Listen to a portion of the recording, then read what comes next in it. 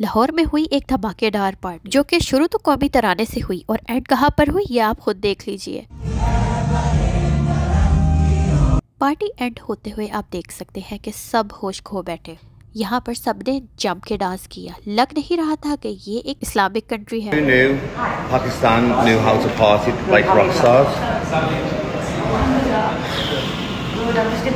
These we're going to a market.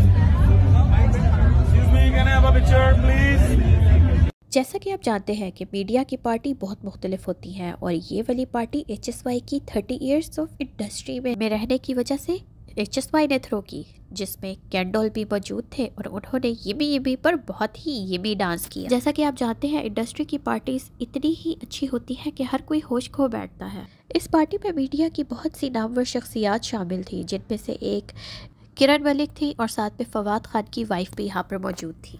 Fawad Khan को इस party में नहीं देखा गया। कहा जाता है कि वो कहीं मसरूफ थे। एच एस वाई एक बहुत ही मशहूर पर्सनैलिटी है और इनका ब्रांड भी बहुत फ़ेमस है। इनके कपड़े इंतहाई नफीस होते हैं और साथ ही साथ एक्सपेंसिव भी होते हैं, लेकिन ये क्वालिटी बरकरार रखते हैं। एच एस वाई डिफरेंट किस्म के मलबूसात बनाते हैं, जिसमें फॉर्मल सेमी फॉर्मल और पार्टी वेयर भी शामिल है। एच एस वाई ना सिर्फ़ ब्राइडल वेयर बनाते हैं, बल्कि मेन्स वेयर में भी बहुत अबूर हासिल करते हैं। एच एस वाई को सपोर्ट करने के लिए इंडस्ट्री के सारे लोग मौजूद थे, जिनमें famous models directors producers song writers और एक्टर्स भी थे। एच एस वाई के मलबूसात न सिर्फ़ पाकिस्तान में मौजूद हैं, बल्कि बाहर के मुल्कों में भी फराहम किए जाते हैं। अगर आपको बाहर के मुल्क में चाहिए तो एच एस वाई आपको इजीली डिलीवर कर सकते हैं। एच एस वाई एक ब्रोकन फैमिली से ताल्लुक रखते हैं और इनकी मदर ने इन्हें पाला है और इन्होंने शुरू से ही बहुत ही मेहनत की है और मेहनत कर करके इन्होंने अपना नाम बनाया है। एच एस वाई के बनाए हुए कपड़े ऐसे होते हैं कि उनको देख कर ही पता चल जाता है कि ये एच एस वाई ने बनाए हैं। एच एस वाई के एक जोड़े की कीमत कम अज कम एक लाख होती है।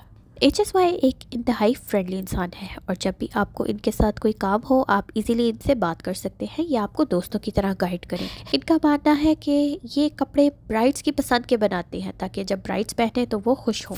हाल ही में एक इंटरव्यू में एच एस वाई ने बताया कि इन्होंने अपनी एजुकेशन बाहर के मुल्क से हासिल की और एक दफ़ा इनका एक बहुत ही डेंजरस एक्सीडेंट भी हो गया था, जिसकी वजह से इनकी बेनाई इफ़ेक्ट हुई, लेकिन इन्होंने हार नहीं मानी। ये नॉन स्टॉप काम करते रहे और कामयाब हो गए। इस इवेंट पर एच एस वाई की मदर भी मौजूद थी। वो चल नहीं सकती, लेकिन वो व्हील पर हाजिर हो गई थी। एच एस वाई ने इंडस्ट्री में अपनी जगह बनाने के लिए तीस साल अनथक मेहनत की और अब उनके मुकाबले का कोई और ब्रांड पाकिस्तान में मौजूद नहीं है। जैसा कि आप देख सकते हैं, इस शो में रैप वॉक के लिए पाकिस्तानी मॉडल्स के अलावा बाहर के मुल्क से भी मॉडल्स ने पार्टिसिपेट किया।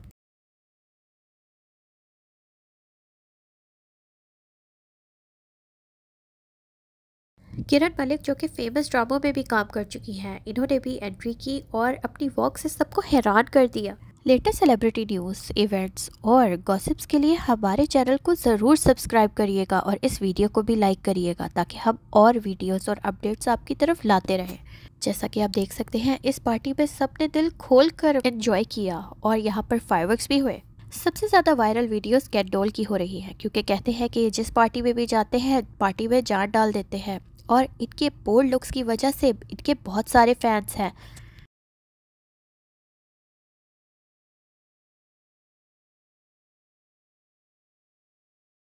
हमने ये इवेंट अपने सब्सक्राइबर्स के लिए स्पेशली कवर किया है। आप हमारे चैनल को लाइक और सब्सक्राइब ज़रूर कीजिएगा और इस वीडियो को एंड तक देखिएगा।